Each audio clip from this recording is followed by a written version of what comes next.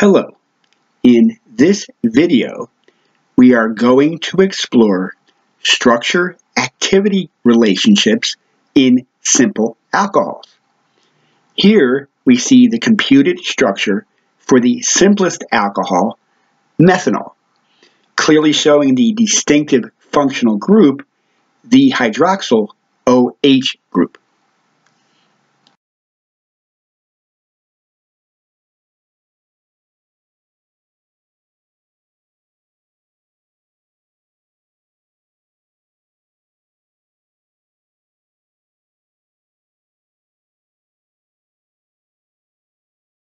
The property we are exploring is the acidity of alcohols, the tendency for an alcohol such as methanol to lose H plus, a proton, and thereby form its conjugate base, shown here, methoxide, with its computed structure.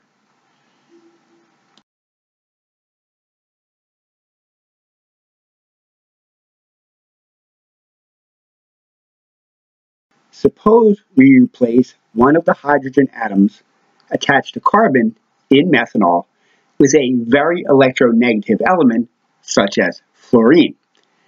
In the process, we get fluoromethanol with the structure shown here.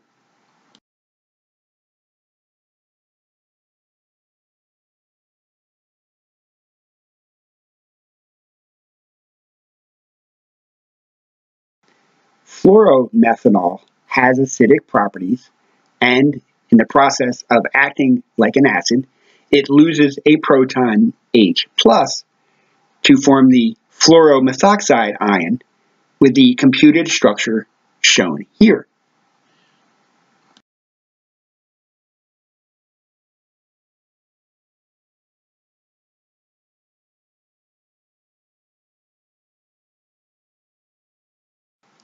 We can continue the process of adding fluorine atoms to the carbon, in the process generating what is here difluoromethanol.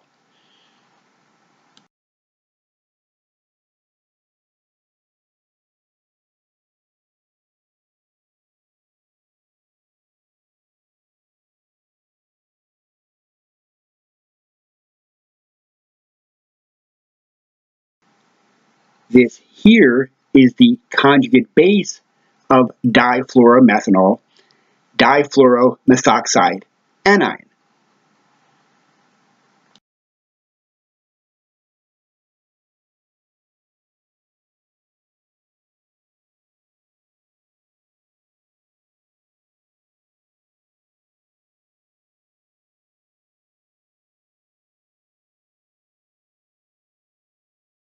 If we take this idea to its logical conclusion, we can replace all three of the methyl hydrogens with fluorine atoms in the process forming trifluoromethanol.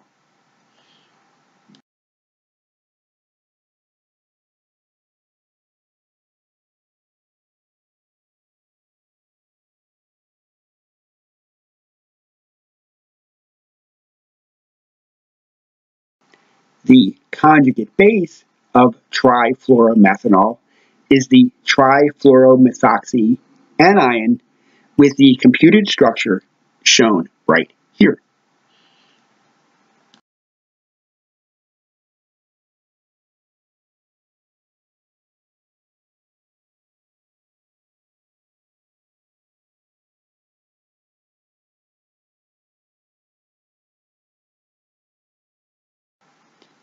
Using electronic structure calculations, we can compute the enthalpies of reaction for the loss of a proton by each of these methanols. The enthalpy, the larger the enthalpy, the weaker the acid, the smaller the enthalpy of reaction, the stronger the acid. And we notice the general trend as we add more fluorine atoms more of the very electronegative element, that the acidity increases, and it increases by a substantial amount, particularly as we add more and more fluorine atoms. So methanol is the weakest of these acids, and trifluoromethanol is the strongest.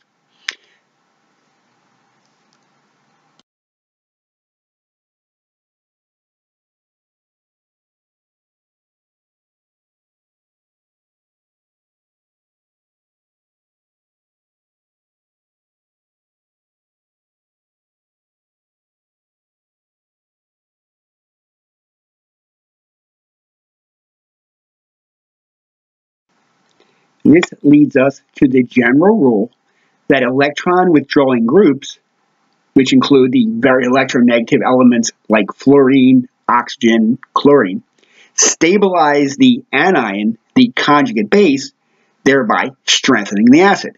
And we see that we have the order of acidity that we calculated that the trifluoromethanol is the strongest. Another parallel way to think of this is in terms of the energy of the lone pair that is on oxygen. The higher the energy of the lone pair, the stronger the base. The lower the energy of that lone pair, the weaker the base, thereby the stronger the acid.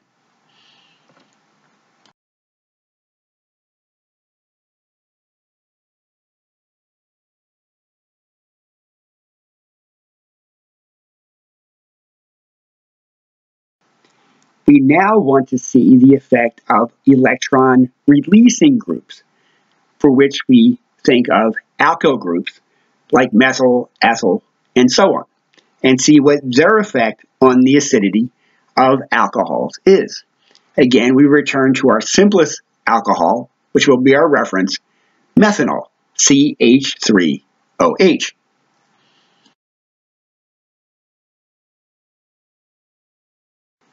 Its conjugate base, we recall, is methoxide ion with the calculated structure shown here.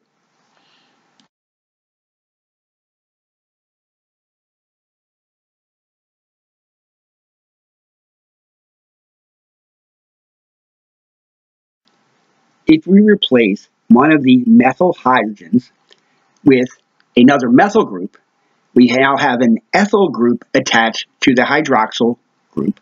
And we have ethanol, also known as ethyl alcohol, which is the next most complicated alcohol in the series.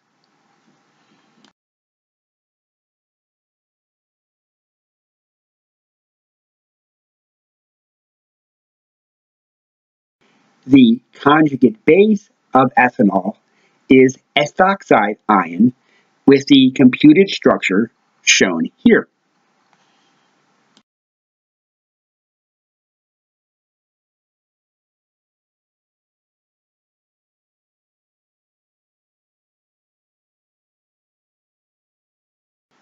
Having already computed the structures of one and two carbon primary alcohols, the next in the series is the three carbon primary alcohol 1 propanol with the computed structure shown here.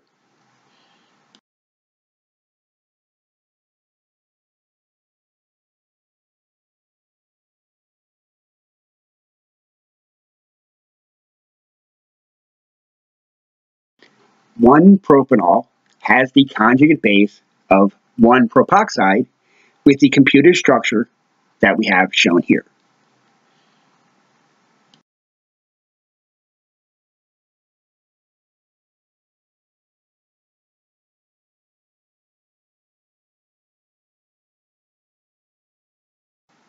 The next longest alcohol in this series is the four carbon alcohol 1-butanol with the computed structure shown here.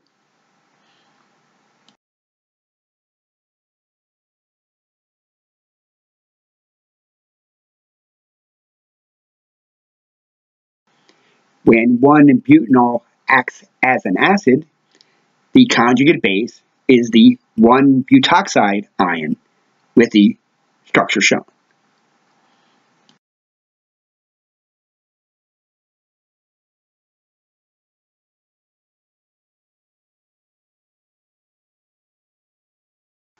Comparing these four alcohols, we notice that the enthalpies of reaction to lose a proton are very close but we see a general trend that the enthalpy of reaction is largest for methanol and smallest for 1-butanol, which tells us that 1-butanol is the strongest of the acids shown and methanol is the weakest.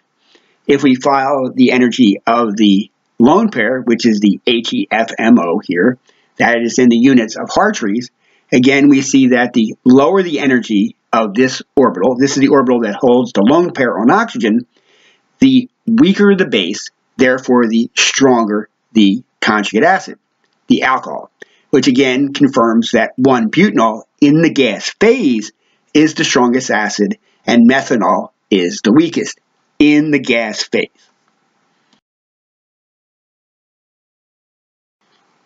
If we proceed by analogy with the case for the electron withdrawing groups, we would expect that electron releasing groups, like the alkyl group shown, should destabilize the anion, the conjugate base, therefore making the alcohol weaker.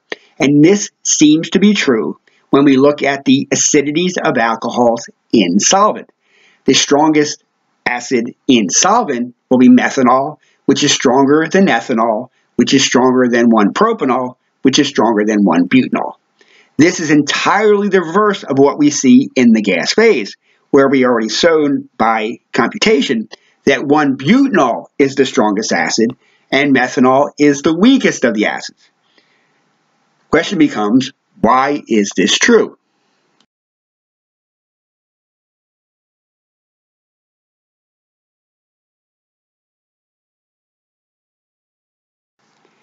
In the gas phase, where there is no solvent, the overwhelming effect is the polarizability of the anion, the conjugate base.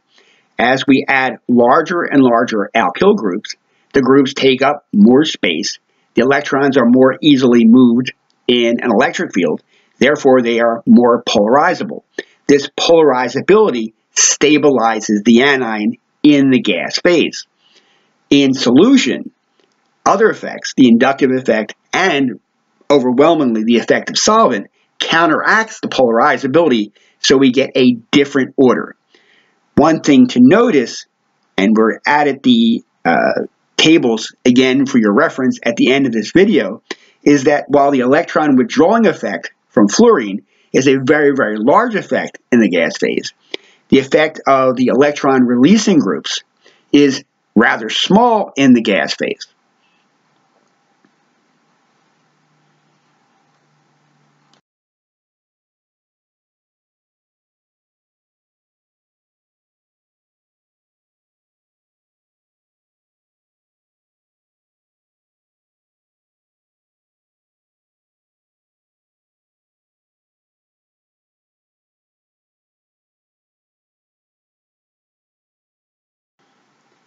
I thank you very much for your attention. Have a happy new year. Have a good one.